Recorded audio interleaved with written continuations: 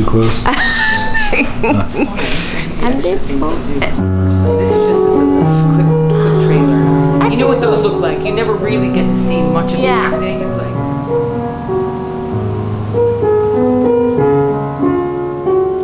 This could be the first measurement of anything outside of our galaxy.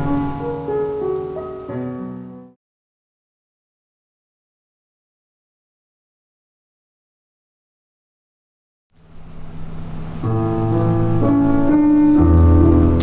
so I go.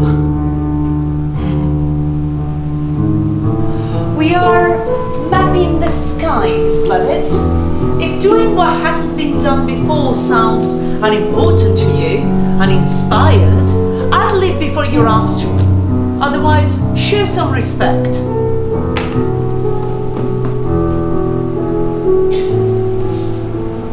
So, I wonder if you could tell us what sort of phenomenon might have caused this. Um, it's, uh, I've not seen it on any of the plates, and, uh, The, these stars, the, the, the, the Cepheids, the pulsating ones. yeah, I know what they are. well, the period luminosity relation by Miss Henrietta Leavitt.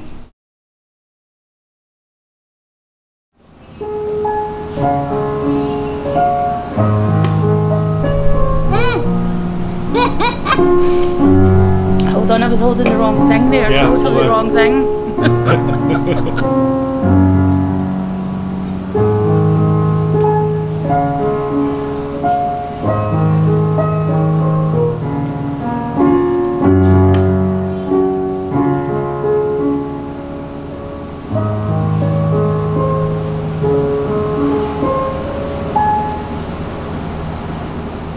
very good. Okay, that's it. That's all you have to do. Okay.